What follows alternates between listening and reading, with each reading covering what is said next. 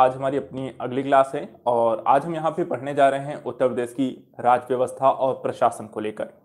देखिए यहाँ पे यूपी स्पेशल से रिलेटेड यहाँ पे जो टॉपिक हम हैं पॉलिटिक्स रिलेटेड है और साथ ही साथ ये भी देखेंगे आ, कि प्रशासन को चलाने के लिए किस तरीके की व्यवस्थाएँ हैं जिसमें त्रिस्तरीय प्रशासनिक व्यवस्था हम देखते हैं। दो चीज़ें हैं जो राज्य के अंतर्गत हमें पढ़नी है एक तो राज्य प्रशासन के अंतर्गत दूसरा आपके ग्राम पंचायती और नगर निकायों के बारे में। तो यहाँ पर आज हम राज्यपाल, मुख्यमंत्री, विधानसभा, विधान परिषद, इससे अलावा हम यहाँ पर पंचायत, ग्राम पंचायतों के रिलेटेड क्षेत्र पंचायत, जिला पंचायत क्या होती हैं, नगर निकाय यहाँ पर हम देखेंगे। और उसके अलावा कुछ आपके न्यायालय से संबंधित गतिविधियों के बारे में पढ़ेंगे। किस तरीके न्यायालय व्यवस्था, जो न्याय से संदर्भित आपको प्रशासनिक व्यवस्था संचालित होती है, एक न्यायिक व्यवस्था होती है। और एट द लास्ट यहाँ पर कुछ आयोगों के बारे में, जैसे कि राज्य मानवाधिकार आयोग, राज्य सूचना आयोग राज्य वित्त आयोग, इनके बारे में देखेंगे। तो एक तरीके से इस वीडियो में हम उत्तर प्रदेश से संबंधित यहाँ पे पॉलिटी एवं यहाँ पे गवर्नेंस को टॉपिक को कवर करेंगे। तो चलिए देखते हैं क्या विशेष है, जहाँ से प्रश्न आपको बनते हैं। मूल रूप से देखा जाए तो यूपी स्पेशल में जो फैक्चुअल कई बार पॉलिटी से रिलेटेड डेटा है, वो बन जाता है क्वेश्चन जैसे कि मुख्यमंत्रियों को लेकर है, विधानसभा अध्यक्षों को लेकर है, सभापति हो गए, किसी प्रकार की नई नियुक्तियाँ आपकी हो गई। इसके अलावा कुछ बेसिक कॉन्सेप्ट हो गए, जैसे कि यहाँ पे मान लीजिए राज्यपाल से रिलेटेड है, मुख्यमंत्री है, विधानसभा, विधान परिषद, उससे संबंधित कुछ सीटें कहाँ से कितनी है, सबसे ज़्यादा, सबसे कम। तो यहाँ पर हम दोनों ही चीज़ों को कवर करेंगे, जिसमें फैक्चुअल चीज़ें, जो डेटा बेस क्वेश्चन आपको बनता है, वो भी आपको इसमें कवर हो जाए।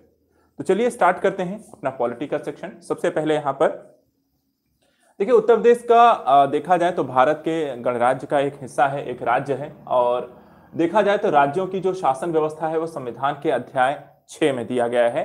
अनुच्छेद एक सौ बावन से लेकर दो सौ सैंतीस के प्रावधानों के अंतर्गत वहाँ पे संविधान में आपके राज्यों से संबंधित एक प्रशासनिक व्यवस्था का आपको उल्लेख दिखाई देगा। इसके अलावा यहाँ पर देखने तो यहाँ पर आपके शासन प्रणाली के एक संसदात्मक शासन प्रणाली है, जिसके तीन प्रमुख यहाँ पे अंग देखने को मिलते हैं। एक है आपकी कार्यपालिका, दूसरा है विधानमंडल और तीसरा है न्यायपालिका। हम जो पढ़ने जा रहे हैं, जो राज्य के प्रशासनिक व्यवस्था के अंतर इन्हीं तीनों को पढ़ेंगे, जिसमें कार्यपालिका क्या होती है, उसकी अपनी इसमें क्या भूमिका है और साथ ही विधानमंडल क्या है, उसके अपने अंग कौन कौन से हैं, और साथ ही साथ यहाँ पे न्यायपालिका और उससे संबंधित गतिविधियों का अध्ययन करेंगे। लेकिन सबसे पहले कार्यपालिका के बारे में पढ़ते हैं, और कार्यपालिका जब आप पढ़ते हैं तो वहाँ पे सबसे पहले आता है राज्यपाल।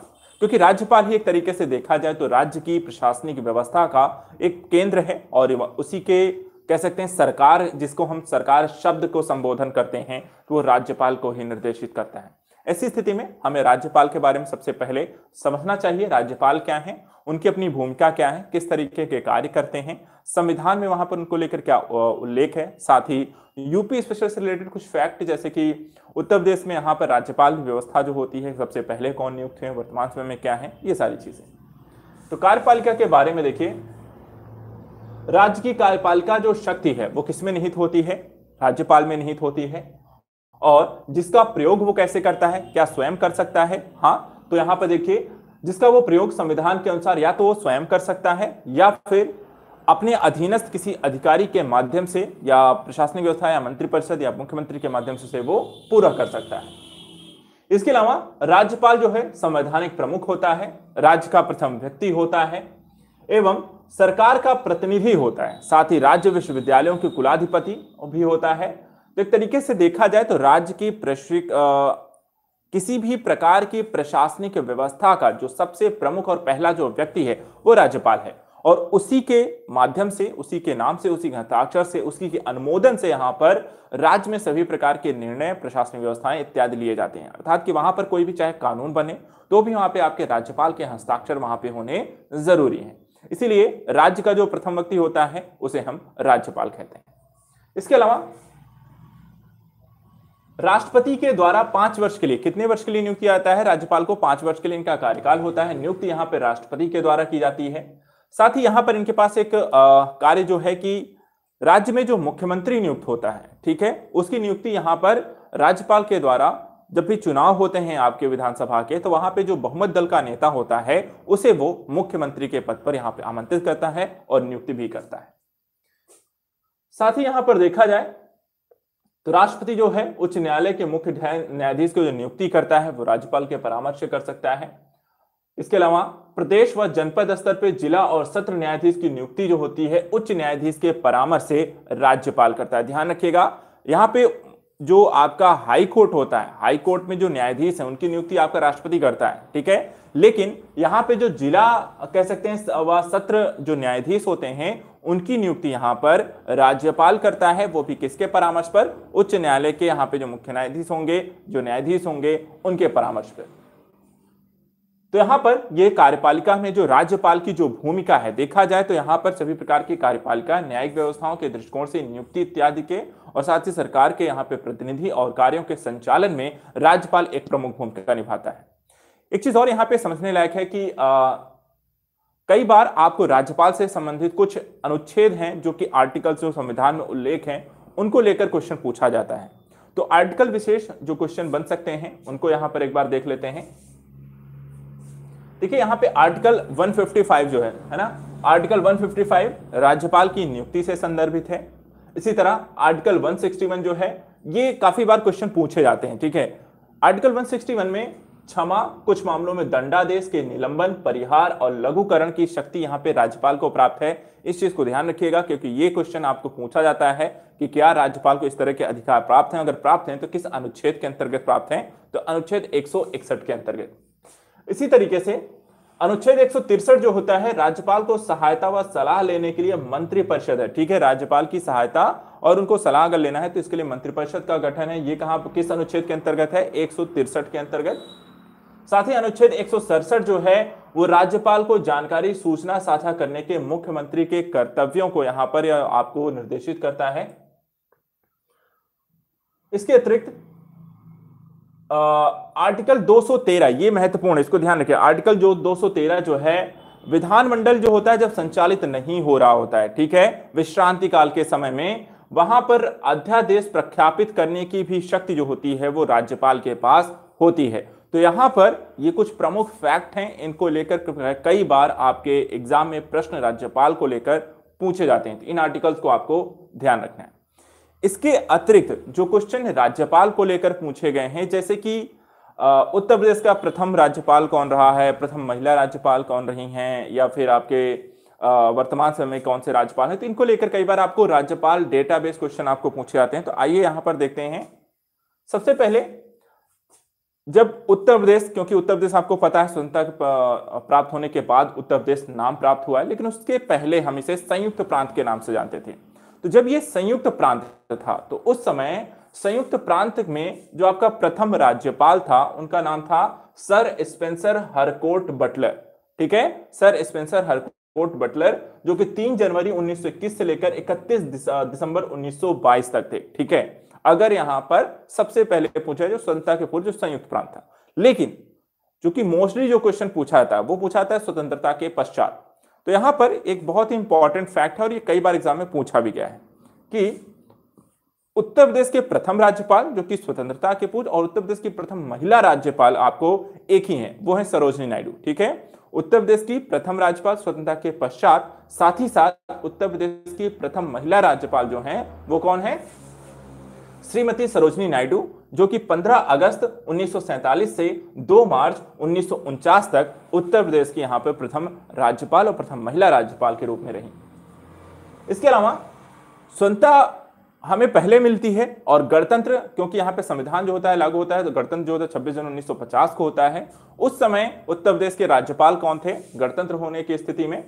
तो वहाँ पर ध्यान रखिएगा एचपी मोदी ठीक है? क्या नाम है? एचपी मोदी जो कि 26 जनवरी 1950 से 1 जून उन्नीस ये दोनों तरीके क्वेश्चन पूछे जा सकते हैं, स्वतंत्रता के पश्चात भी और गणतंत्र होने के पश्चात भी।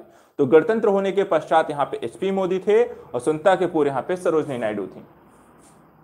वर्तमान राज्यपाल, आप सभी को पता होगा, आनंदीबेन पटेल हैं, जो कि 29 जुलाई 2019 से वर्तमान समय तक आपकी राज्यपाल है। तो ये तो हो गया कार्यपालिका में जो राज्यपाल की जो भूमिका होती है, वो हमने देखा। दूसरा यहाँ पर एक चीज़ और समझने वाली बात है, वो है व्यवस्थापिका। व्यवस्थापिका के अपने क्या काम है और किस तरीके से ये कार्य अपने करती है? तो इसमें देखिए, उत्तर प्रदेश की जो व्यवस्थापिका है, वो दो सदनी है, ठीक है? दो सदन होते हैं, विधानसभा और विधान परिषद। राज्यपाल जो होता है, मुख्यमंत्री की इसमें नियुक्ति करता है और उसकी सलाह से वो अन्य मंत्रियों की नियुक्ति करेगा। राज्यपाल किसी भी मंत्री को पद ग्रहण करने से पहले संविधान की तीसरी अनुसूची में दिए गए परिपत्रों के अनुसार पद और गोपनीयता की शपथ दिलाता है। दो तरीके की शपथ यहाँ पे दिलाई जाती है एक पद की और दूसरी गोपनीयता की और दिलाता कौन है? राज्यपाल। इसके अलावा मंत्रीगण जो हैं राज्यपाल के प्रसाद पर्यंत पद धारण कर सकते हैं। ठीक है? राज्यपाल के प्रसाद पर्यंत पद धारण कर सकते हैं। इसके अतिरिक्त मंत्रीगण जो होते हैं आ, उसके अलावा विधानसभा और विधान परिषद यहाँ पे इसके अपने दो सदन हैं। एक चीज़ और यहाँ पे जो कि कई बार एग्ज़ाम में पूछा जाता है कि मंत्री बनने हेतु किसी भी, जो भी विधायक या जो भी व्यक्ति होता है, किसी को मंत्री यदि बनाया जाता है मंत्री परिषद में यदि सम्मिलित किया जाता है तो वहाँ पर एक चीज़ बहुत अनिवार्य है कि उसे किसी एक सदन का सदस्य होना आवश्यक है, चाहे वो विधानसभा का हो, चाहे वो विधान परिषद का हो। लेकिन हो सकता है कि ऐसा कोई व्यक्ति जो दोनों ही सदनों का सदस्य ना हो, उसे मंत्री बना दिया जाए तो ऐसी स्थिति में क्या?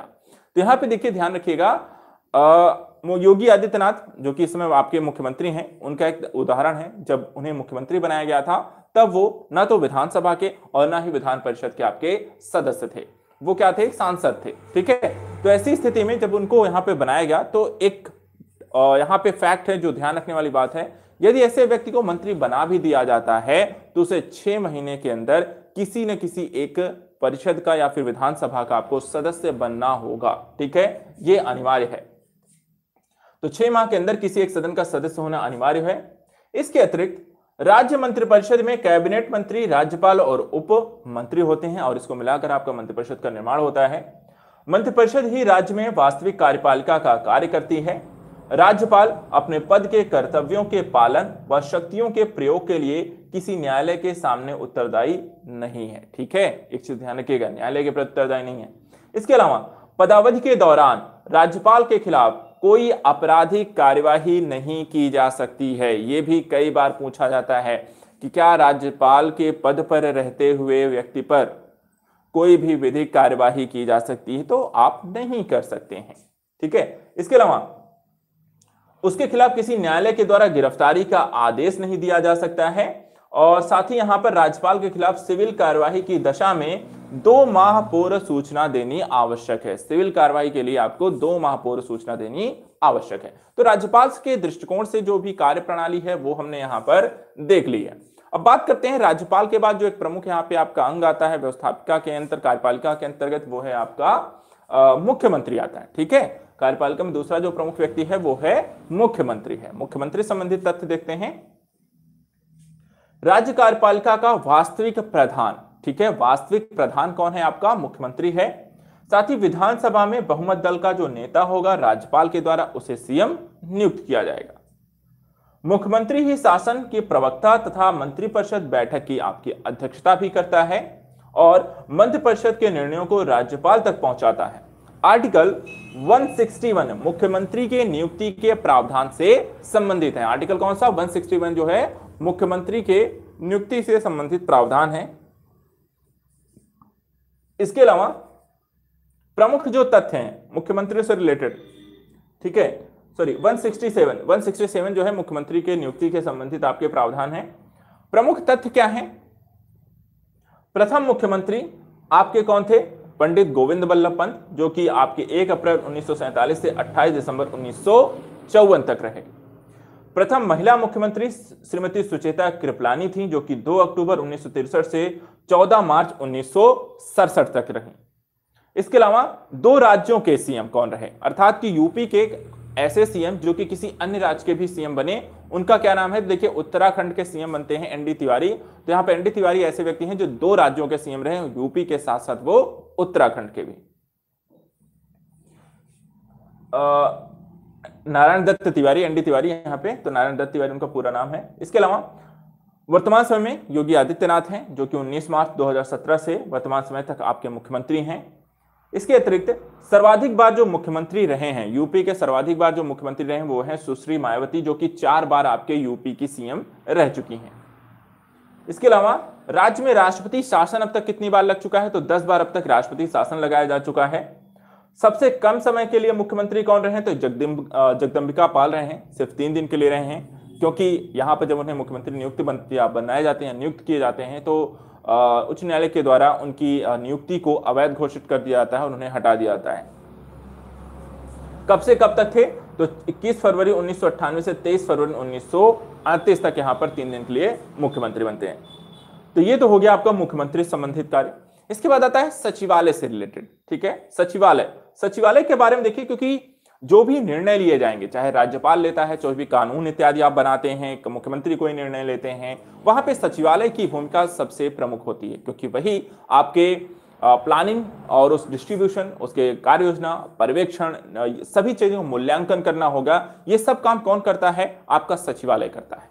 तो सचिवालय अगर देखा जाए तो किस तरीके के कार्यों को लेकर यहाँ पर अपनी भूमिकाओं के बारे में यहाँ पर देख लेते हैं। तो सबसे पहले प्रशासनिक सहयोग एवं परामर्श हेतु मुख्य सचिव के नेतृत्व में एक विशुद्ध प्रशासनिक निकाय बनाया जाता है, ठीक है, जो कि सचिवालय के रूप में हम जानते हैं। तो यहाँ पर जो प्रमुख होता है उसे हम कहते हैं मुख्य सचिव, बाकी अन्य राज्य विभागों के जो सचिव होते हैं वो यहाँ पर इनके अंडर में काम करते हैं। इसके अतिरिक्त सचिवालय काम करती है तो नीति निर्माणकारी निकाय है। कैसी है? पॉलिसी मेकिंग वाली। ठीक है? पॉलिसी निर्माण पॉलिसी मेकिंग का काम यहाँ पे सचिवालय करती है। सचिवालय राज्य के प्रशासन में पर्यवेक्षण, निर्देशन और नियंत्रण का कार्य करती है। इसके अलावा राज्य सचिवालय के प्रशासनिक अध्यक्ष को हम मुख्यमंत्री कहते हैं। सॉरी मुख्य सचिव कहते हैं। सचिवालय के प्रत्येक विभाग के सचिव को शासन सचिव कहा जाता है। तो मुख्य सचिव और शासन सचिव। मुख्य सचिव कौन होगा? जो आपके सभी सचिवालयों को, वहाँ पर सभी विभागों के सचिवों को यहाँ पर सबसे प्रमुख होता है, अध्यक्ष होता है। और जितने भी विभागों के जो सचिव होंगे, उन्हें हम शासन सचिव कहते हैं, जो कि यहाँ पे मुख्य सचिव के अंतर्गत आते हैं। इसके अलावा राज्य का राज्य शासन का जो धुरी है, वो आपकी सचिवालय है। मुख्य सचिव यहाँ पे सीएम व मंत्रिपरिषद के सचिव के रूप में कार्य करता है। इसके अलावा सरकारी नीतियों को बनाना, ज़रूरी सामग्री एकत्रित करना, उनका विश्लेषण करना मंत्रिपरिषद के पास भेजना, ये सभी काम जो होता है वो सचिवालय के द्वारा किए जाते हैं। तो प्रशासनिक व्यवस्था में देखें तो सचिवालय की यहाँ पर एक महती भूमिका है, जो कि राज्यों में जो भी यहाँ पे निर्णय लिए जा रहे हैं, जो भी पॉलिसी मेकिंग का काम चल रहा है, जो भी यहाँ पर उसका परिवर्तन इत्यादि किए जाते हैं, वो सब यहाँ पे सचिवालय के द्वारा इत्यादि निर्देशित, पर्यवेक्षित किए जाते हैं। चलिए तो ये तो हमने देख लिया आपका कार्यपालिका में राज्यपाल, मुख्यमंत्री और सचिवालय के कार्य की व्यवस्था को। अब यहाँ पर राज्य की कुछ कार्यात्मक इकाइयों के बारे में पढ़ेंगे। उसके बाद हम यहाँ पर फिर विधानमंडल के बारे में पढ़ना शुरू करें। तो राज्य की कार्यात्मक इकाइयाँ क्या क्या हैं? सबसे पहले, राज्य में मंडल स्तर पर मंडलायुक्त तो नियुक्त किया जाता है, जो कि शांति व्यवस्था, राजस्व वसूली का कार्य संचालित करता है। ठीक है? तो सचिवालय से जो नीचे काम करते हैं, वहाँ पे मंडल जो होते हैं, अठारह जो मंडल आपके यूपी में है, वहाँ पे मंडलायुक्त होते हैं। और मंडलायुक्त का काम क्या है? दो काम है, शांति व्यवस्था बनाए रखना, साथ ही राजस्व वसूली का कार्य करना। अब मंडल के नीचे क्या होते हैं? ज़िले आते हैं, ठीक है? मंडल के नीचे आपके ज़िले आएँगे। ज़िले स्तर पर कौन होता है? जिलाधिकारी होता है। ज़िले के नीचे आपका तहसील आता है, जहाँ पर एसडीएम होता है, और तहसील के नीचे यहाँ पे ब्लॉक आता है, जहाँ पे ब्लॉक डेवलपमेंट ऑफिसर होता है। इसी तरीके से शिक्षा, स्वास्थ्य, पुलिस विभागों का अपना पृथक पृथक आपका अस्तित्व होता है। विभागों के अनुसार अलग अलग यहाँ पे कार्य निर्देशन होता है। इसके अतिरिक्त राज्य में जो महाधिवक्ता की नियुक्ति जो होता है, राज्यपाल के द्वारा संविधान के अनुच्छेद एक के अनुसार की जाती है। और महाधिवक्ता जो होता है, वो राज्यपाल के प्रसाद पर्यंत अपने पद पर बना रह सकता है। एक चीज़ और महाधिवक्ता की जो है, वो विधि के विषयों पर राज्यपाल को सलाह भी देता है। ये ध्यान रखिएगा, राज्यपाल को यहाँ पे सलाह देने का काम आपका महाधिवक्ता करता है। इसके अतिरिक्त, यह सदनों की बैठक में भाग लेता है, परंतु इन्हें बोलने का अधिकार नहीं होता है। तो महाधिवक्ता यहाँ पर विधानसभा, विधान परिषद में बैठ तो सकता है, ठीक है, बैठ सकता है, लेकिन यहाँ पर उसे बोलने का अधिकार नहीं है। इसके अलावा वर्तमान में उत्तर प्रदेश के जो महाधिवक्ता है नाम ध्यान रखिएगा राघवेंद्र सिंह है ठीक है? राघवेंद्र सिंह जो है आपके आ, उत्तर प्रदेश के महाधिवक्ता है वर्तमान समय में क्योंकि ये फैक्चुअल बेस्ड क्वेश्चन भी आपसे पूछ लिए जाते हैं ध्यान रखना है। एक पार्ट हमने कंप्लीट किया ठीक है? एक पार्ट हमने कंप्लीट कर लिया। दूसरे पार्ट में आते हैं समझते हैं विधान मंडल के बारे में क्योंकि यहाँ पर जो भी विधि और कानून बनाए जाने का कार्य है वो आपका कौन करता है? वो आपकी विधानमंडल में विधानसभा और विधान परिषद मिलकर करते हैं। तो यहाँ पर चलिए समझते हैं। विधानमंडल के देखे जाए तो तीन पार्ट हैं, ठीक है? राज्यपाल, विधानसभा और विधान परिषद। राज्यपाल के बारे में हमने पढ़ लिया, लेकिन ये दोनों आपके पढ़ने हैं। तो इसमें देखिए, इनका काम क्या होता है? विधानमंडल काम क्या करता है? विधि निर्माण का कार्य करता है। और विधानमंडल में राज्यपाल जो होता है सर्वोपरि होता है, क्योंकि उसके हस्ताक्षर के बिना कोई कानून यहाँ पर साकार रूप नहीं ले सकता है। राज्यपाल के जो कार्य होते हैं इस दृष्टिकोण से विधानमंडल में, वो क्या होता है? या सदनों की, सदनों का अधिवेशन बुलाने का कार्य? दोनों सदनों में अभिभाषण करना, विधानसभा का विघटन करना, निम्न सदन में बजट रखवाना, विधेयक को राष्ट्रपति के पास भेजना और सदन के सत्र में ना होने की स्थिति में अध्यादेश जारी करना और इस तरीके के सारे जो काम है विधानमंडल से रिलेटेड, वो राज्यपाल करता है। तो ये ध्यान रखिएगा, यहाँ पर कई बार इससे क्वेश्चन पूछे गए हैं, इनमें से कामों को लेकर कि कौन सा राज्यपाल यहाँ पे काम करता है या नहीं करता है, ये सब। यहाँ पे दूसरी चीज़ है जो विधानसभा है, विधानसभा के बारे में समझिएगा। देखा जाए तो विधानसभा यूपी का एक निम्न सदन है, जैसे कि लोकसभा देखा जाए, राज्यसभा होती है, उसी तरह विधानसभा विधान परिषद होती है। विधानसभा जो है, वो निम्न परिषद के रूप में कार्य करती है, निम्न सदन के रूप में काम करती है। विधानसभा में जो संख्या है वो 60 से कम नहीं हो सकती है और 500 से ज़्यादा नहीं हो सकती है। वर्तमान में अगर देखा जाए उत्तर प्रदेश की विधानसभा की सदस्य संख्या कितनी है तो टोटल 404 है, जिसमें 403 जो होते हैं वो आपके निर्वाचित होते हैं और चुनाव के प्रक्रिया के माध्यम से आते हैं और एक जो होता है एंग्लो इंडियन यहाँ पर राज्यपाल के द्वारा मनोनीत किया जाता है। इसके अलावा विधानसभा के सदस्यों का जो चुनाव होगा वो 18 वर्ष के ऊपर वयस्क मतदाता के द्वारा किया जाता है विधानसभा का जो सदस्य अगर आपको बनना है उसमें पार्टिसिपेट करना है चुनाव लड़ना है तो उसके लिए क्या है ज़रूरी है कि वह भारत का नागरिक होना चाहिए। 25 वर्ष की आयु को पूरा कर चुका हो दिवालिया ना हो विकृत व्यक्ति ना हो और कोई लाभ का पद धारण ना करता हो। अगर ये सारी आपको यहाँ पे आ, कह सकते हैं एलिजिबिलिटीज आप पूरी करते हैं तो आप यहाँ पर विधानसभा के या विधान परिषद विधानसभा के आप सदस्य बन सकते हैं। इसके अलावा राज्य विधानसभा में एक अध्यक्ष और एक उपाध्यक्ष होते हैं। मंत्रिपरिषद राज्य विधानसभा के प्रति आपकी उत्तरदायी होती है। तो ध्यान रखिएगा, मंत्रिपरिषद किसके प्रति उत्तरदायी है? यहाँ पे विधान परिषद के विधानसभा के प्रति आपकी उत्तरदायी होती है। एक क्वेश्चन और, जब विधानसभा का चुनाव होता है, ठीक है तो सबसे ज़्यादा जो सीटें होती हैं वो कहाँ से हैं? किस क्षेत्र से आती हैं? तो सर्वाधिक जो सीटें हैं विधानसभा से रिलेटेड वो है आपका प्रयागराज में 12 जो सीटें हैं वो आपकी विधानसभा की प्रयागराज में हैं, जबकि कानपुर और अलीगढ़ में आपकी 10-10 विधानसभा सीटें हैं। वहीं सबसे कम जो विधानसभा सीटें हैं, वो आपकी महोबा, चित्रकूट, हमीरपुर, ललितपुर, महोबा, श्रावस्ती हैं। यहाँ पर दो दो सीट हैं। तो सबसे कम और सबसे ज़्यादा सीटें आपको इसमें ध्यान रखनी है। इसके अलावा कुछ अन्य महत्वपूर्ण तथ्य जो कि विधानसभा अध्यक्ष को लेकर कई बार प्रश्न बन सकते हैं, जैसे कि उत्तर प्रदेश के प्रथम विधानसभा अध्यक्ष कौन थे? तो नाम ध्यान रखिएगा, राजर्षि पुरुषोत्तम दास टंडन। अब यहाँ पर एक फैक्ट इसमें ध्यान ध्यान रखिएगा, ये कब से कब तक थे? तो यहाँ पर 31 जुलाई 1937 से लेकर 10 अगस्त 1950 तक आपके स्वतंत्रता के पूर्व और पश्चात, ठीक है? एक ही व्यक्ति राजेश पुरुषोत्तम दास टंडन, जो कि विधानसभा के अध्यक्ष पद पर थे। इसके अलावा जो वर्तमान अध्यक्ष हैं, उनका नाम है हृदय नारायण दीक्षित। जो कि 3 मार्च 2030 मार्च 2017 से वर्तमान समय तक हैं। केसरीनाथ त्रिपाठी और आत्माराम गोविंद खेर जो होते हैं, सर्वाधिक तीन बार आपके विधानसभा अध्यक्ष रह चुके हैं यूपी के। दोनों का नाम ध्यान रखिएगा, केसरीनाथ त्रिपाठी और आत्माराम गोविंद खेर। ये लोग तीन तीन बार आपके विधानसभा अध्यक्ष रह चुके हैं। इसके अलावा बनारसी दास और श्रीपति मिश्र, बनारसी दास और श्रीमती श्रीपति मिश्र ऐसे विधानसभा अध्यक्ष हैं जो कि उत्तर प्रदेश के मुख्यमंत्री भी रह चुके हैं। तो ये कुछ फैक्ट हैं, आपको ध्यान रखने हैं, जो विधानसभा परिषद से, सॉरी, विधानसभा से रिलेटेड हैं। अब दूसरा यहाँ पर आता है, दो सदनों की हम बात कर रहे थे तो राज्यपाल के बारे में देखा क्या काम है, विधानसभा के बारे में देखा किस तरीके की प्रक्रियागत स्थितियाँ हैं। अब बात करते हैं आपके विधान परिषद के बारे में। विधान परिषद क्या है? राज्य का उच्च सदन होता है, ठीक है? और इस परिषद के सदस्यों का निर्वाचन एवं निर्वाचक मंडल के द्वारा अप्रत्यक्ष रूप से किया जाता है। इसमें एक बटा तीन जो सदस्य हैं विधानसभा के द्वारा, एक बटा तीन सदस्य स्थानीय संस्थाओं के द्वारा, एक बटा तीन सदस्य अध्यापक और उनके जो अनुभवी जो अध्यापक हैं उनके द्वारा, एक बटा दो सदस्य आपके स्नातकोत्तर यहाँ पर जो विद्यार्थी हैं उनके द्वारा, इसके अलावा एक बटा छह सदस्य राज्यपाल के द्वारा यहाँ पर विधान परिषद में मनोनीत किए जाते हैं।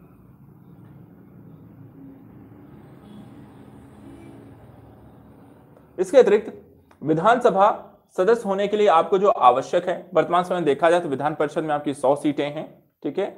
और विधान परिषद में सदस्य होने के लिए आवश्यक है कि आप भारतीय नागरिक हो, तीस वर्ष की आयु आपकी हो, सदन की कार्यवाही चलाने के लिए यहाँ पे सभापति और उपसभापति दो व्यक्ति होते हैं जो कार्य संचालन का कार्य करते हैं। यहाँ पर देखिए, कोई भी जैसे विधानसभा में मान लीजिए कोई आपको विधेयक रखा जाता है तो वो विधान परिषद में भी जाता है। और कई बार ऐसा होता है कि विधान परिषद उस विधेयक से यदि उसको अनुमति नहीं देना चाहती है तो वहाँ पर कई बार वो ऐसे विधेयकों को अपने पास रोक लेती है। तो यह प्रश्न बनता है कि वो कितने समय के लिए रोक सकती है और कितनी बार रोक सकती है। तो यहाँ पर देखिए, दो बार रोक सकती है। प्रथम बार अगर ऐसा कोई विधेयक जिससे वो सहमत नहीं है और पारित नहीं करना चाहते या कहना चाहते हैं कि यहाँ पर विधान परिषद सरकार स्वयं इसके बारे में थोड़े संशोधन करे तो ऐसी स्थिति में जब पहली बार ऐसा कोई विधेयक वहाँ पर उनके पास आएगा तो विधान परिषद प्रथम बार में से तीन महीने के लिए, नाम ध्यान रखिएगा, तीन महीने के लिए अपने पास रख सकती है। वही विधेयक जब दोबारा अगर उसके पास आता है तो ऐसी स्थिति में वो एक महीने के लिए अपने पास उसे रख सकती है। तो दो बार यहाँ पर अपने पास रख सकती है, पहली बार तीन महीने के लिए और दूसरी बार एक महीने के लिए। इसके बाद यहाँ पर कई सारी समितियाँ होती हैं जो कई प्रकार के कार्यों का संचालन करती हैं। जैसे आश्वासन समिति हो गई लोक लेखा समिति हो गई विशेषाधिकार याचिका समिति हो गई निगम समितियाँ हो गई, प्रत्यायोजित विधि निर्माण समितियाँ हो गई, जो दोनों सदनों के कार्यों को यहाँ पर, साथ ही सरकार के कार्यों का मूल्यांकन और निरीक्षण करती रहती हैं, सदन की कार्यवाही चलाने में, और यहाँ पर विधे विधायकों और उससे संबंधित अधिकारों के बारे में यहाँ पर सभी कार्यों को देखती हैं।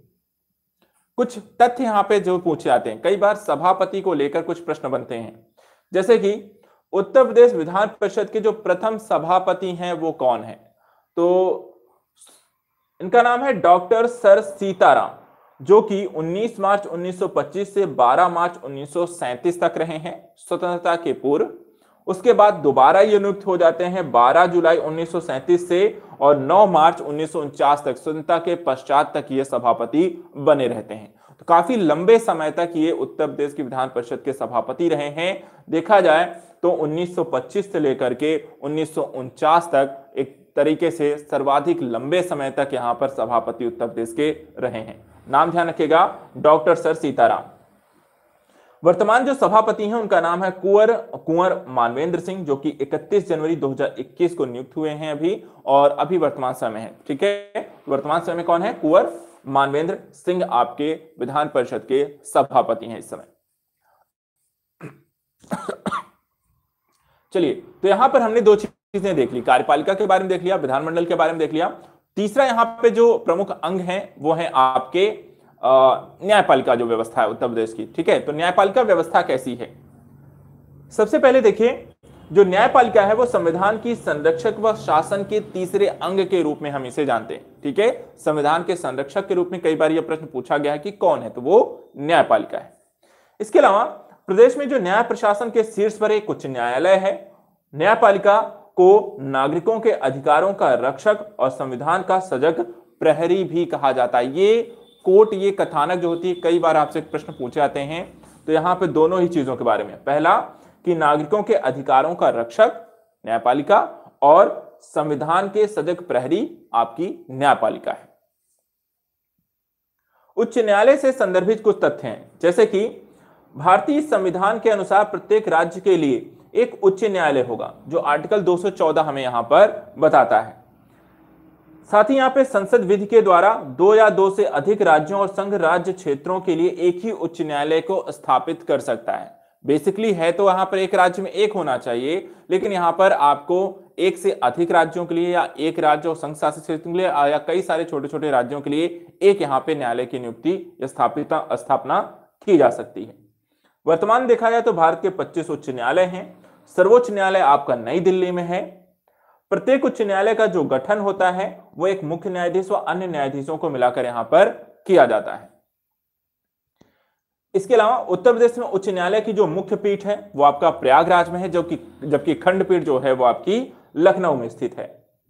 इलाहाबाद उच्च न्यायालय की जो स्थापना की गई थी वो अठारह सौ उनहत्तर में की गई सड़सठ में और उसके बाद यहाँ पर उच्च न्यायालय के नियंत्रण में जिला न्यायालय मंत्री पर, आ, मंत्री सॉरी पारिवारिक न्यायालय उत्तर प्रदेश का राज्य विधिक सेवा प्राधिकरण, ये सभी मतलब कि देखा जाए तो उत्तर प्रदेश में उच्च न्यायालय के अंतर्गत जितने भी प्रकार के न्यायालय हों, चाहे आपके पारिवारिक न्यायालय हो, जिला न्यायालय हो, सत्र न्यायालय जो भी हैं, वो सब के सब किसके अंतर्गत आएँगे? आपके उत्तर प्रदेश के उच्च न्यायालय के अंतर्गत काम करते हैं। इसके अलावा, समस्त नागरिकों के लिए यहाँ पर विचार, अभिव्यक्ति, विश्वास, धर्म, उपासना की स्वतंत्रता को सुनिश्चित करने के उद्देश्य से आपके यहाँ पे न्यायपालिका या उच्च न्यायालय की यहाँ पे स्थापना की गई। तो यहाँ पर न सिर्फ़ आपको न्याय देना है, बल्कि यहाँ पर आपके अधिकारों को सुरक्षित रखना, आपके विचारों की, अभिव्यक्ति की, स्वतंत्रता इत्यादि की रक्षा करना भी यहाँ पर उच्च न्यायालय का यदि मान लीजिए, कई बार ऐसा होता है कि जो राज्य है, वो आपके अधिकारों के व्यक्ति को, विचार की, स्वतंत्रता को प्रतिबंधित करने का कार्य करता है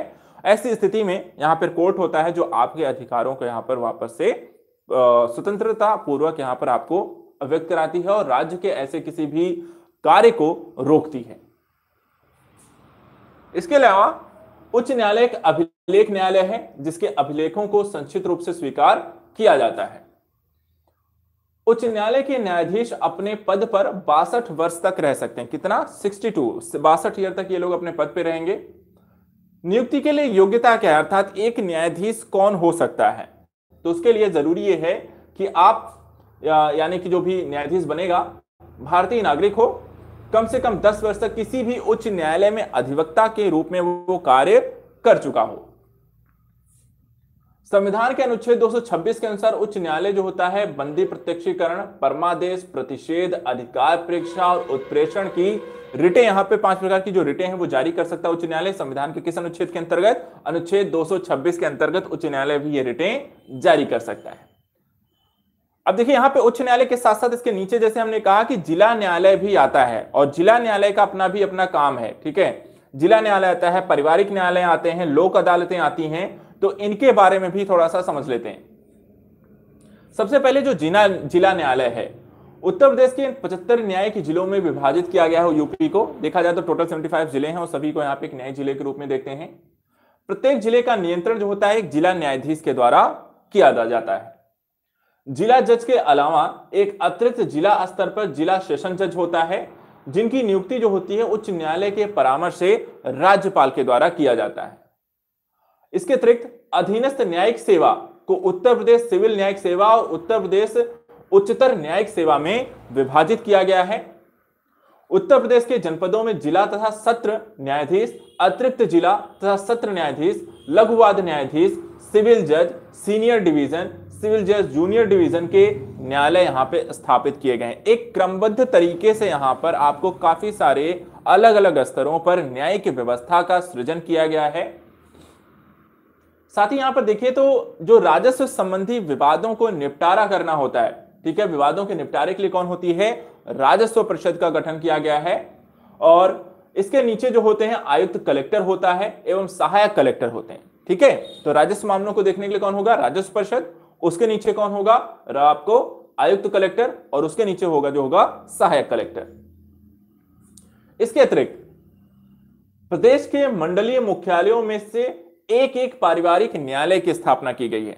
और वादों की अधिकता के कारण लखनऊ और कानपुर ऐसे दो शहर या मंडल हैं जो दो दो यहाँ पे आपके पारिवारिक न्यायालय हैं। तो हर एक मंडल में एक एक है, लेकिन लखनऊ और कानपुर मंडल में दो दो आपके पारिवारिक न्यायालय का गठन किया गया है।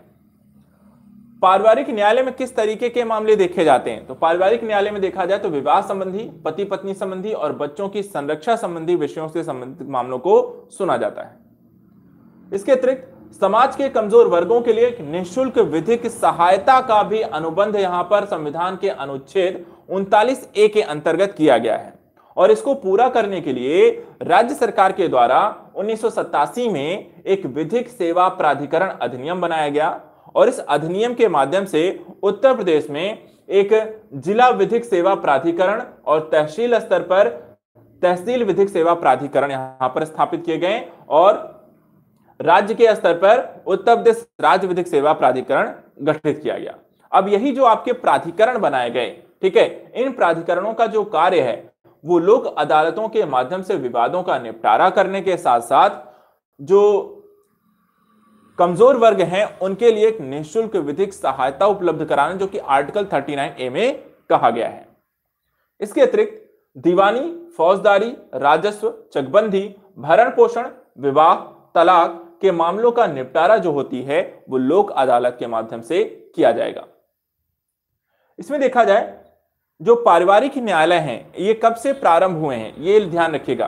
तो इसके लिए पारिवारिक न्यायालय अधिनियम 1985 के अंतर्गत समस्त मंडल मुख्यालयों में एक एक पारिवारिक न्यायालय की स्थापना की गई। साथ ही यहाँ पर उत्तर प्रदेश सरकार के द्वारा वर्ष उन्नीस सौ सत्तासी में एक विधिक सेवा प्राधिकरण अधिनियम पारित किया गया। वर्तमान में समस्त जनपद में तीन तीन अस्थायी लोक अदालत हैं ठीक है? तो पारिवारिक न्यायालय देखिए पारिवारिक न्यायालय और लोक अदालतें दो अलग अलग चीज़ें हैं। जहाँ पारिवारिक जो न्यायालय हैं वो प्रत्येक मंडल में एक एक हैं लखनऊ कानपुर में दो दो हैं। वहीं लोक अदालतों की बात करें जो कि दीवानी फौजदारी राजस्व चकबंदी जैसे मामलों को देखते हैं ये आपके आ, समस्त जनपद में मतलब जिलेवार और एक एक ज़िले में यहाँ पे तीन तीन है, ठीक है? तीन तीन यहाँ पे लोक अदालतों का गठन किया गया है। एक चीज़ और यहाँ पर जो कि प्रश्न के रूप में बन सकता है, वो है केंद्रीय कारागार। उत्तर प्रदेश में केंद्रीय कारागार कितने हैं? तो देखा जाए तो उत्तर प्रदेश में छह केंद्रीय कारागार हैं। कहाँ कहाँ? आगरा, बरेली, लखनऊ, फतेहगढ़, नैनी और वाराणसी, ठीक है? छह आपके केंद्रीय कारागार यूपी में है। एक चीज़ और ध्यान रखिएगा लखनऊ में ही आपका संपूर्णानंद कारागार प्रशिक्षण संस्थान की यहाँ पर स्थापना की गई है, जहाँ पर कारागार संबंधी आपके प्रशिक्षण यहाँ पर अधिकारियों के इत्यादि को दिए जाते हैं। तो ये तो हो गया हमारे की न्यायालयिक व्यवस्था, जब न्यायिक प्रशा, और न्यायिक प्रशासनिक व्यवस्था भी हमने यहाँ पर देख ली। तो यहाँ पे राज्य के स्तर पर जो भी आपकी कार्यपालिका है, आपका विधानमंडल है और आपकी न्यायपालिका है, वो हमने यहाँ पर देख। ली अब इसके नीचे जो होता है, जैसे हमने कहा कि पश्चात तीन आपकी व्यवस्थाएँ केंद्र, राज्य और पंचायती राज व्यवस्था। तो राज्य को हमने देख लिया, अब दूसरा यहाँ पर आता है पंचायती राज व्यवस्था के बारे में, जिसमें आपके पंचायत के साथ साथ ग्राम पंचायत, जिला पंचायत, उसके साथ साथ आपका नगर निकाय भी यहाँ पर आते हैं। तो दोनों ही प्रणालियों को इसमें हम समझने का प्रयास करेंगे, पंचायती राज प्रणाली क्या है। उत्तर प्रदेश में 15 अगस्त उन्नीस सौ सैंतालीस से पंचायतों की स्थापना जो होती है, शुरू होती है, अर्थात की स्वतंत्रता के पश्चात से यहाँ पे पंचायती राज व्यवस्था को लागू करने का कार्य शुरू होता है। 1955 में पंचायतों के दूसरे चुनाव के बाद पंचायत अदालतों का नाम न्याय पंचायत कर दिया जाता है। तो न्याय पंचायत जैसा शब्द या उल्लेख या पद या फिर गठन जो होता है, वो कब होता है? 1955 इसके अलावा उन्नीस सौ में उत्तर प्रदेश क्षेत्र समिति एवं जिला परिषद अधिनियम उन्नीस सौ इकसठ पारित कर त्रिस्तरीय ग्राम पंचायत, क्षेत्र पंचायत, जिला पंचायत प्रणाली को लागू किया गया। कब? 1961-1962 में। ऐसा बलवंत राय मेहता समिति की सिफारिशों के आधार पर यहाँ पर किया गया था। उसके बाद उन्नीस सौ बानवे में केंद्र सरकार के द्वारा पंचायतों की एक रूपता लाने, समय पर चुनाव सुनिश्चित करने, आर्थिक स्थिति सुदृढ़ करने पंचायतों को संवैधानिक दर्जा देने के उद्देश्य से संविधान में एक संशोधन किया गया, जिसे बोला गया तिहत्तरवा संविधान संशोधन अधिनियम। अब यहाँ पर देखा जाए तो इस अधिनियम को जो होता है, अध्याय नौ के अंतर्गत इसमें जोड़ा गया है संविधान में, और 243 एक से लेकर के 243 ओ तक जो संविधान में अनुच्छेद हैं, उसके अंतर्गत यहाँ पे पंचायती राज व्यवस्था से संबंधित आपकी प्रणालियों का उल्लेख किया गया। यहाँ पर देखा जाए तो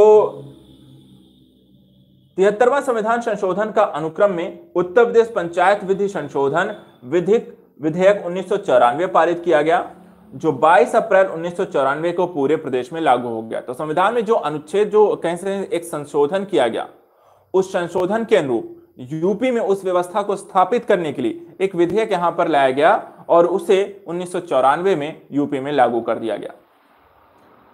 इस तरीके से राज्य में तीनों स्तर की पंचायतों में एक रूपता लाने के साथ ही पंचायतों के संगठन, संरचना एस महिला आरक्षण, निश्चित कार्यकाल, निर्वाचन, वित्त आयोग की स्थापना, पंचायतों के कार्य, शक्तियों, उत्तर, दायित्व के संबंध में व्यापक व्यवस्थाओं को यहाँ पर सुनिश्चित किया गया, निर्देशित किया गया आपको इस अधिनियम के माध्यम से। अब चलिए, यहाँ पर यह तो हो गया कि किस तरीके से पंचायती राज व्यवस्था का विकास यूपी में हुआ यह तो आपने देख लिया।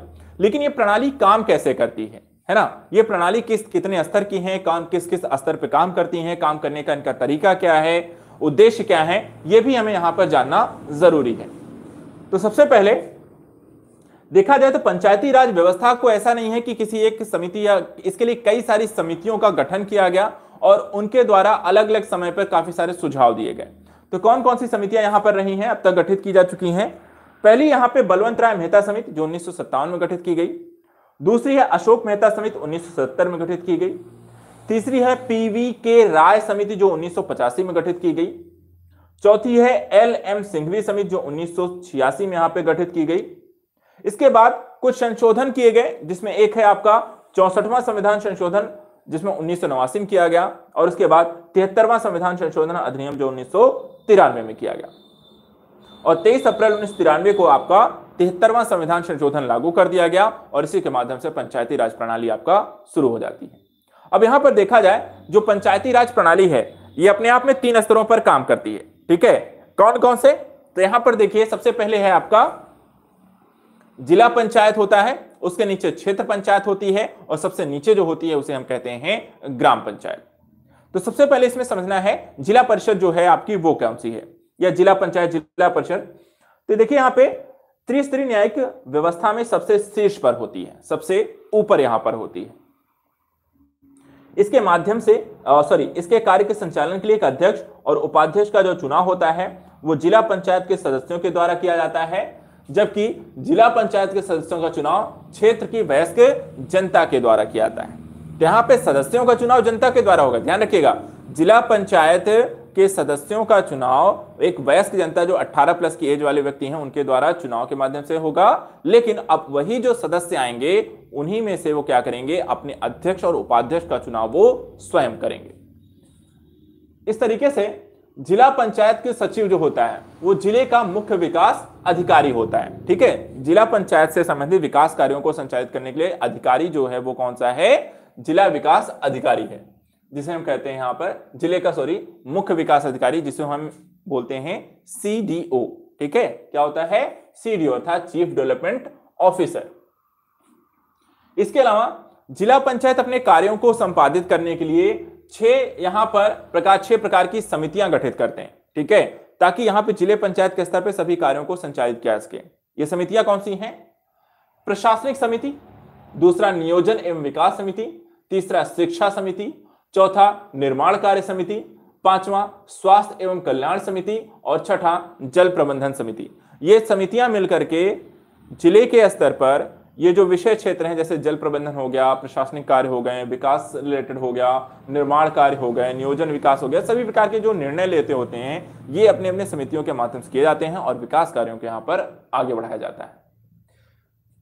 जिला पंचायत के नीचे काम करता है आपका क्षेत्र पंचायत। त्रिस्तरीय व्यवस्था में देखा जाए तो ये द्वितीय स्तर पर आते हैं। प्रत्येक क्षेत्र में एक प्रमुख अथा एक उप प्रमुख होता है। ठीक है? क्षेत्र पंचायतों में भी एक प्रमुख होगा और एक उप प्रमुख होगा। प्रमुख का जो चुनाव होता है, वो ग्राम सभा के द्वारा चुने गए क्षेत्र पंचायत के सदस्यों के द्वारा होता है। क्षेत्र पंचायत, जिला पंचायत और ग्राम पंचायत के बीच की कड़ी भी इसे कहा जाता है, क्योंकि ये द्वितीय स्तर पर होता है, इससे ऊपर और इससे नीचे होते हैं। इस पंचायत के सचिव का जो काम होता है, यहीं पर आपका बीडीओ होता है, जिसे हम कहते हैं ब्लॉक डेवलपमेंट ऑफिसर तो बीडीओ जो होता है, वो क्षेत्र पंचायत पर यहाँ पर कार्य करता है। यहाँ भी आपकी छह समितियाँ होती हैं, वही छह समितियाँ जो कि जिला पंचायत के स्तर पर होती हैं, और ये छह समितियाँ क्षेत्र के स्तर पर कार्यों का संचालन करती हैं। क्षेत्र पंचायत के नीचे आता है आपका ग्राम पंचायत। और ग्राम पंचायत देखा जाए तो सबसे निचले स्तर पर होता है, ठीक है? प्रशासन व्यवस्था में आपका सबसे निचले स्तर पर आपकी ग्राम पंचायत आती है ग्राम पंचायत का अध्यक्ष होता है, उसे हम कहते हैं प्रधान। ठीक है? प्रधान का चुनाव भी होता है। यहाँ पर देखा जाए, इसका चुनाव जो होती है, अठारह वर्ष से अधिक आयु के मतदाताओं के द्वारा प्रत्यक्ष रूप से यहाँ पर किया जाता है। आप सभी ने भी ग्राम प्रधान के जब भी चुनाव होते होंगे तो आप लोगों ने पार्टिसिपेट किया होगा। चुनाव यहाँ पर वोट दिए होंगे। ग्राम पंचायत के सदस्यों का जो चुनाव होता है, वो प्रत्यक्ष रूप से ग्राम सभा के द्वारा यहाँ पर किया जाता है। और ग्राम पंचायत का सदस्य या प्रधान चुने जाने हेतु तो जो आपकी न्यूनतम आयु होनी चाहिए, वो 21 वर्ष होनी चाहिए, ठीक है? इस पंचायत का जो सचिव है, वो ग्राम विकास अधिकारी होता है। तो हर एक स्तर पर देखिए, हर एक स्तर पर एक सचिव की नियुक्ति होती है और यहाँ पे कह सकते हैं आपके विकास अधिकारी। तो मुख्य विकास अधिकारी होता है, फिर आपका बीडीओ होता है, जो ब्लॉक डेवलपमेंट ऑफिसर होता है, फिर उसके बाद यहाँ पर देखें तो सबसे नीचे जो होता है, वो विलेज डेवलपमेंट ऑफिसर होता है। तो सीडीओ बीडीओ और वीडीओ यहाँ पर तीनों स्तर पर एक एक विकास अधिकारी नियुक्त किए जाते हैं। अब यहाँ पर देखा जाए, इस पंचायत में यहाँ पर जो सभी कामों को करने के लिए छह समितियों का गठन किया जाता है, वही छह समितियाँ जो आपकी ऊपर के दो स्तरों पर नियुक्त की गई हैं। लेकिन यहाँ पे कुछ अन्य चीज़ें आपको जान लेनी आवश्यक हैं, जो कि प्रश्न में पूछी जा सकती हैं। जैसे कि ग्राम प्रधान को हटाने की प्रक्रिया क्या होती है? देखिए, ग्राम प्रधान यदि को हटाना है तो उसके लिए ज़रूरी यह है कि ग्राम पंचायत की एक विशेष बैठक बुलाई जाए, ठीक है? एक विशेष बैठक बुलाई जाए। इस बैठक को बुलाने से के लिए आपको पंद्रह दिन पहले आपको पूर्व सूचना देनी आवश्यक है। अब इसके बाद जब यह विशेष बैठक आपको आयोजित होती है, उस विशेष बैठक में यहाँ पे ग्राम सभा के जो उपस्थित और मतदान करने वाले सदस्यों के दो बटा तीन बहुमत के द्वारा आप ग्राम प्रधान को हटा सकते हैं। लेकिन इस बैठक को तभी पूरा माना जाएगा जबकि उसकी गणपूर्ति हो रही हो। अर्थात कि जितने भी आपके सदस्य हैं, उसके कम से कम एक बटा तीन सदस्य वहाँ पर उपस्थित होने चाहिए, जो कि गणपूर्ति के लिए ज़रूरी है। और अगर ऐसा नहीं हो पाता है तो ऐसी स्थिति में इस बैठक में यदि एक बटा तीन सदस्य उपस्थित नहीं होते हैं तो फिर आप यहाँ पर ग्राम प्रधान को आप हटा नहीं सकते ठीक है तो यहाँ पर ज़रूरी है कि गणपूर्ति पूरी हो। एक बटा तीन सदस्य कम से कम होने चाहिए और उस एक बटा तीन सदस्य में दो बटा तीन सदस्य जो होते हैं वहाँ पर उसके पक्ष में अर्थात उसे हटाने के पक्ष में वोट करें। मान लीजिए अगर ये दोनों ही चीज़ें संभव नहीं होती हैं तो ऐसी स्थिति में आपको प्रधान, ग्राम प्रधान को हटाने के लिए आप अगले एक वर्ष तक ऐसी किसी भी बैठक को आप आयोजित पुनः नहीं कर सकते। यह तो हो गया ग्राम प्रधान को हटाने की प्रक्रिया। इसके अलावा जो ग्राम पंचायत होती है, उसके काम क्या क्या होते हैं? यह भी आपको जान लेना ज़रूरी है। तो देखिए यहाँ पे कृषि एवं ग्राम विकास से संबंधित सभी ग्राम स्तरीय कार्य आपका ग्राम पंचायत करती है।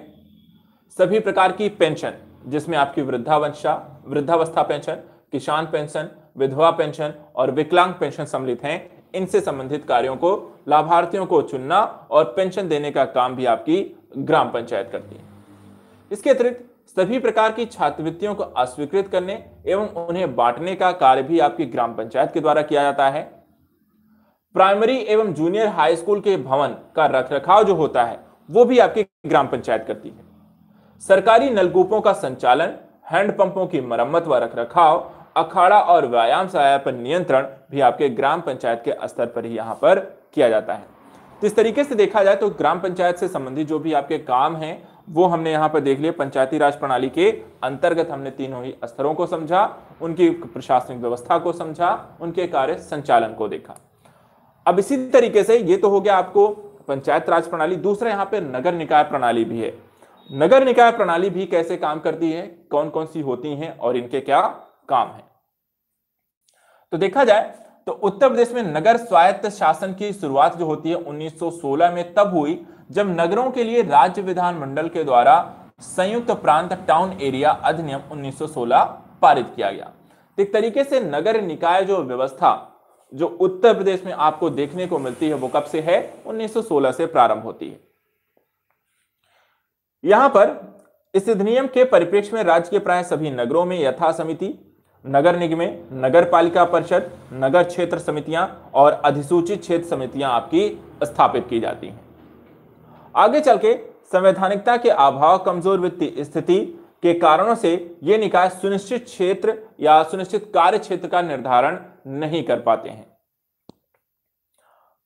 उन्नीस सौ तिरानवे में केंद्र सरकार के द्वारा संविधान में चौहत्तरवा संविधान संशोधन कर एक नया अध्याय नाइन ए जोड़ा गया और अनुच्छेद 243 पी से लेकर अनुच्छेद 43 तक यहाँ पर सभी जो कार्य हैं, वो आपको नगर निकाय प्रणाली से निर्देशित, यहाँ पे अनुच्छेद में उनका वर्णन किया गया। चौहत्तरवा संविधान संशोधन के बाद उत्तर प्रदेश सरकार के द्वारा उत्तर प्रदेश स्थानीय स्वशासन अधिनियम उन्नीस सौ चौरानवे के नाम से एक नया कानून यहाँ पर बनाया जाता है और इस अधिनियम में राज्य के संपूर्ण नगरीय क्षेत्र को तीन भागों में विभाग किया गया, ठीक है? तो उन्नीस सौ चौरानवे में उत्तर प्रदेश सरकार के द्वारा एक यहाँ पर उत्तर प्रदेश स्थानीय स्वशासन प्रणाली अधिनियम पारित करके तीन अलग अलग भागों में नगरीय प्रणाली को विभाजित किया।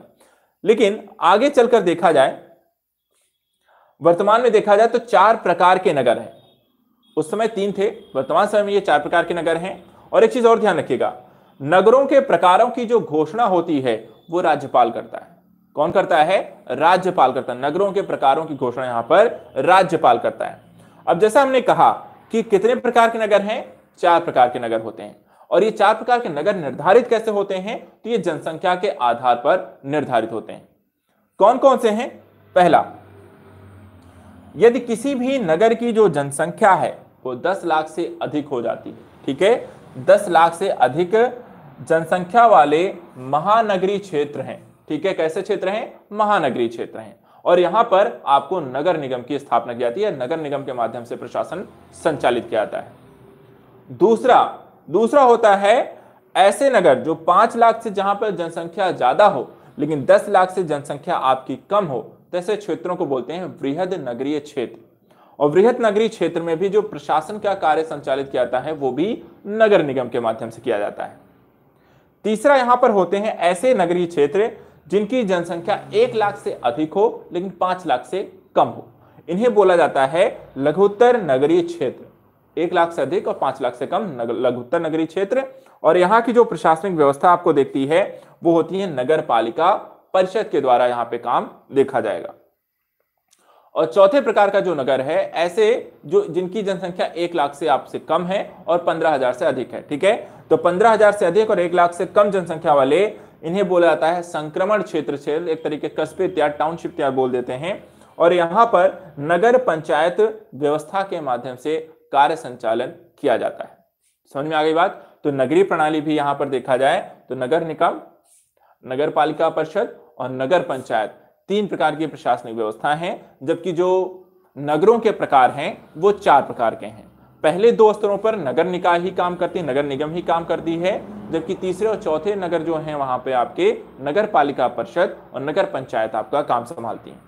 तो चलिए देखते हैं इनके बारे में, अर्थात कि नगर निगम नगर पालिका परिषद और नगर पंचायत से संबंधित आपकी क्या कार्य संरचना है? सबसे पहले इसमें देखते हैं नगर निगम।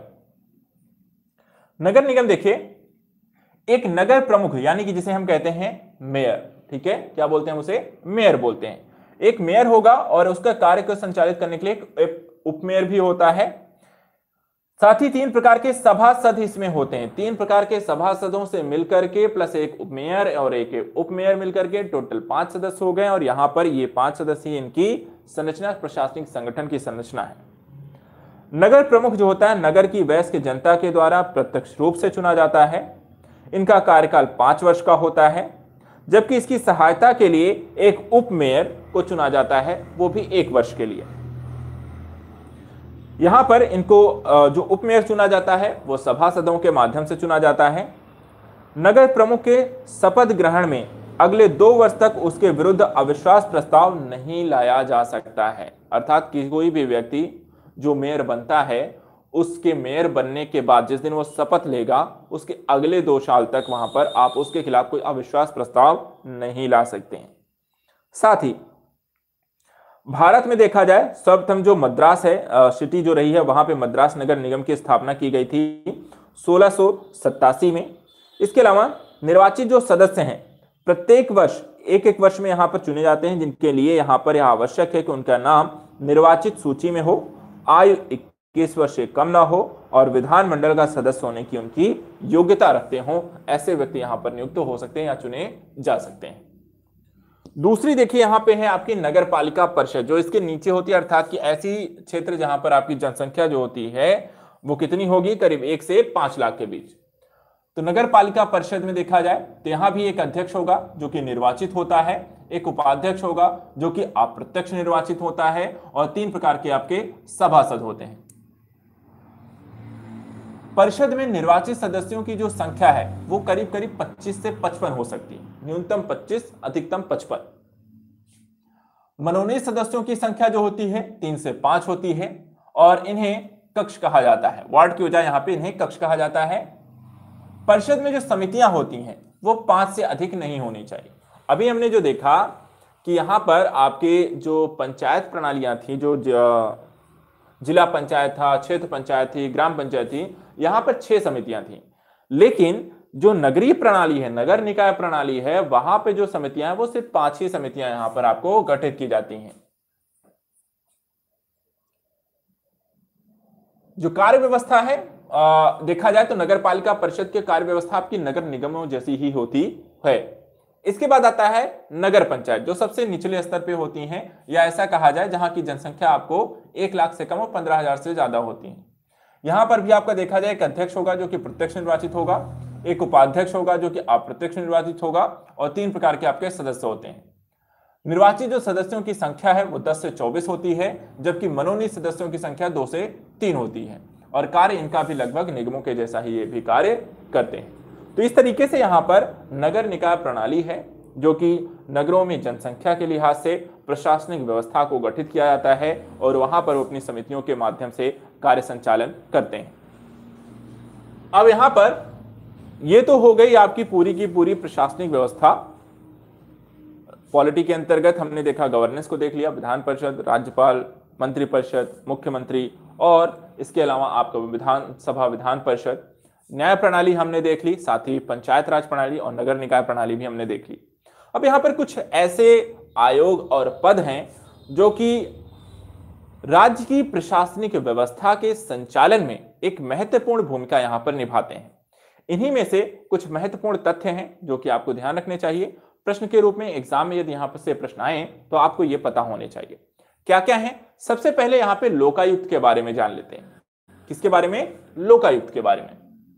लोकायुक्त क्या है? उत्तर प्रदेश सरकार के द्वारा 1975 में उत्तर प्रदेश लोकायुक्त एवं उप लोक आयुक्त अधिनियम 1975 यहाँ पर पारित किया गया। इस अधिनियम के तहत 14 सितंबर 1977 को उत्तर प्रदेश के प्रथम लोकायुक्त न्यायमूर्ति विशंभर दयाल को नियुक्त किया जाता है। ठीक है? प्रथम लोकायुक्त किसे नियुक्त किया गया? विशंभर दयाल को, जो कि 1977 में नियुक्त किए जाते हैं।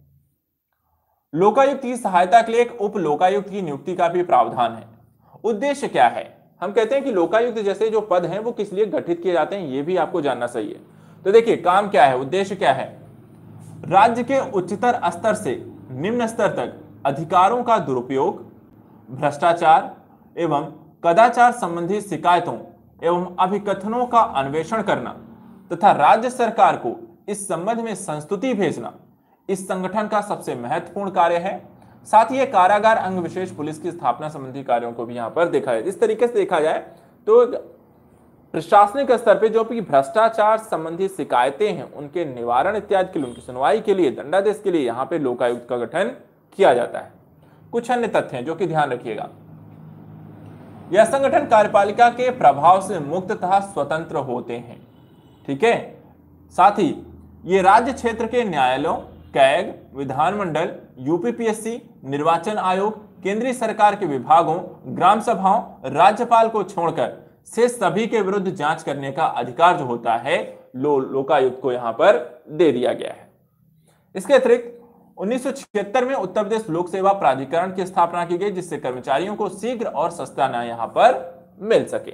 तो यहाँ पर हमने देखा लोकायुक्त के काम क्या है और किस किस के खिलाफ यहाँ पे जाँच कर सकता है और कौन कौन इसके अंतर्गत नहीं आते? इसके बाद आता है राज्य मानवाधिकार आयोग, जो कि मानव अधिकारों की सुरक्षा के लिए राज्यों के स्तर पर गठित किए जाते हैं। यहाँ पर देखा जाए उत्तर प्रदेश राज्य में मानवाधिकारों के संरक्षण है तो मानवाधिकार संरक्षण अधिनियम उन्नीस तिरानवे की धारा 21 के अंतर्गत यहाँ पे राज्य मानवाधिकार आयोग का गठन किया गया 7 अक्टूबर 2002 को। ठीक है, कब गठित किया गया? 7 अक्टूबर 2002 को। वर्तमान समय में मानवाधिकार आयोग के, राज्य मानवाधिकार आयोग के अर्थात उत्तर प्रदेश राज्य मानवाधिकार आयोग के अध्यक्ष कौन है? जस्टिस बी के नारायण। कौन है? जस्टिस बी के नारायण जो है राज्य मानवाधिकार के अध्यक्ष हैं। इसी तरीके से राज्य सूचना आयोग भी है। सूचना अधिकार अधिनियम की धारा 15 के अंतर्गत राज्य सूचना आयोग का यहाँ पे गठन किया गया, जबकि राज्य के प्रथम सूचना आयुक्त जो हैं न्याय मोहम्मद असगर को यहाँ पर नियुक्त किया गया था। तो पहले कौन थे? न्याय मोहम्मद असगर थे। इनका कार्यकाल कितना होता है? पाँच साल या फिर आपका पैंसठ वर्ष? वर्तमान अध्यक्ष, जो कि क्वेश्चन आपको मोस्टली यही बन सकता है कि वर्तमान में आपके राज्य सूचना आयोग के यहाँ पे अध्यक्ष कौन है? तो नाम ध्यान रखिएगा, भवेश कुमार सिंह को। किसे नियुक्त किया गया है? भवेश कुमार सिंह को यहाँ पर राज्य सूचना आयुक्त नियुक्त किया गया है। इसके बाद एट द लास्ट आपके राज्य वित्त आयोग के बारे में थोड़ा सा ध्यान रखिएगा। भारतीय संविधान के अनुच्छेद 245 आई से लेकर के 243 वाई के अनुसार राज्य वित्त आयोग का गठन किया जाता है पाँच वर्ष के लिए। उत्तर प्रदेश में प्रथम राज्य वित्त आयोग का जो गठन किया गया उन्नीस ईस्वी में किया गया था। ठीक है? पहला राज्य वित्त आयोग उन्नीस में गठित किया गया और अब तक पाँच गठित किए जा चुके हैं। वर्तमान समय में जो पांचवा जो वित्त आयोग है, उसका कार्यकाल 2015 से वर्तमान समय तक चल रहा है। नगर निकायों को कुल यहाँ पर देखा जाए तो जो विभाज्य है या नगर निकायों को कुल विभाजन पूल है, वो 60 परसेंट, सॉरी, एक चीज़ और है, जो अध्यक्ष हैं, जो पाँचवें आपके वित्त आयोग के अध्यक्ष उनका नाम है आनंद मिश्र, ठीक है? आनंद मिश्र आपके राज्य वित्त आयोग के अध्यक्ष हैं। अब यहाँ पर राज्य वित्त आयोग ने जो वित्तीय आपको आवंटन कर रखा है, वो कैसे किया है? तो नगर निकायों को कुल विभाज्य पुल का 60 परसेंट तथा पंचायती राज सभाओं को, संस्थाओं को यहाँ पर 40 परसेंट दिया जाता है। पंचायती राज संस्थाओं के अंश में से 70 परसेंट आपको ग्राम पंचायतों को 20 परसेंट आपको जिला पंचायतों को और 10 परसेंट यहाँ पर क्षेत्र पंचायतों को दिया जाता है। तो इस तरीके से राज्य वित्त आयोग जो होती है, वो नगर निकाय प्रणाली को और क्षेत्र पंचायत सॉरी जिला पंचायत प्रणाली में या पंचायत प्रणाली के स्तर पर जो राशि होती है, उसके विभाजन का कार्य यहाँ पे करती है और निर्धारण करती है किसको कितनी वित्तीय राशि यहाँ पर आवंटित की जाएगी उसके कार्यों के अनुसार। तो ये हमने यहाँ पर देख लिया, उत्तर प्रदेश की पॉलिटी, आपकी यहाँ पर एक वीडियो में यहाँ पर हमने देख ली, समाप्त हो गई है। ये आपको पूरा पढ़ लेना है, रिवीजन कर लेना है। इसको कई बार यहाँ पर अगर आप पढ़ लेंगे तो यहाँ पर देखिए दोनों ही चीज़ें हैं। यहाँ पर जो भी आपकी फैक्ट हैं वो भी हमने यहाँ पर ऐड कर लिए हैं। जो करंट का थोड़ा बहुत अध्यक्ष इत्यादि को लेकर क्वेश्चन बनते हैं, वो भी यहाँ पर आपको ऐड कर दिया गया है। और साथ ही साथ यहाँ पर जो भी कथानक अनुच्छेद हैं, वो भी हैं। और कार्य प्रणाली उद्देश्य यहाँ पर सभी प्रकार की जानकारी को इस एक वीडियो में आपको उत्तर प्रदेश की पॉलिटी व्यवस्था को आपको दे दिया गया है। तो इसको अच्छे से यहाँ पर स्टडी कर लीजिए, इसका रिविजन कर लीजिएगा। और बाकी जो सारे टॉपिक्स हैं मोस्टली आपके यहाँ पर आपको इस वीक कंप्लीट कर दिए जाएँगे यूपीएस से रिलेटेड एक चीज़ और है जो सूचना मैं आपको दे दूँ। कल से आपकी सामान्य हिंदी की भी क्लासेस स्टार्ट हो जाएँगी, लाइव क्लासेस आपको मिलेंगी। टाइमिंग जो होगी, वो आपको आज ग्रुप में मैसेज कर दिया जाएगा। तो यहाँ पे तरुण सर आपकी क्लासेस आपको हिंदी से स्पेशल लेंगे। क्लासेस जो होंगी, वो हिंदी का देखिए, सिर्फ़ जो प्री ओरिएंटेड क्लासेस हैं, वही होंगी। क्योंकि प्री में यहाँ पर आपको सिर्फ़ छह टॉपिक से रिलेटेड क्वेश्चन आपको आएगा, बाकी से रिलेटेड नहीं आएगा। तो हिंदी स्पेशल की जो क्लास होगी, वो ऐसा नहीं कि सब, सभी टॉपिक पढ़ाए जाएँगे, क्योंकि ये बैच जो है आपका आर ओ का प्री ओरिएंटेड बैच है। तो हम यहाँ पर आपको प्री ओरिएंटेड जितनी भी हिंदी है, वो यहाँ पर आपको करा दी जाएँगी। तो ज़्यादा समय भी नहीं लगेगा, एक हफ़्ते में मे भी आपको जो, क्योंकि छह टॉपिक हैं, छह क्लासेस सफिशियंट हैं। वहाँ पर आपकी कंप्लीट करा जाएँगे, हिंदी भी आपकी, ठीक है? इसके अलावा मैथ और रीजनिंग की भी क्लासेस आपको कल से यहाँ पे प्रोवाइड कराने की कोशिश की जाएँगी तो आपका जो कोर्स है, वो कोशिश की जाएगी तो आपकी बीस तक कंप्लीट कर दी जाए। लेकिन तब तक आप अपना काम करते रहिए रिविजन करते रहिए, जो भी यहाँ पर आपका टाइम रहा होगा, ठीक है? चलिए तो फिर आज के लिए इतना ही, कल मिलेंगे फिर अलग, अगले टॉपिक के साथ उत्तर प्रदेश स्पेशल को लेकर थैंक यू सो मच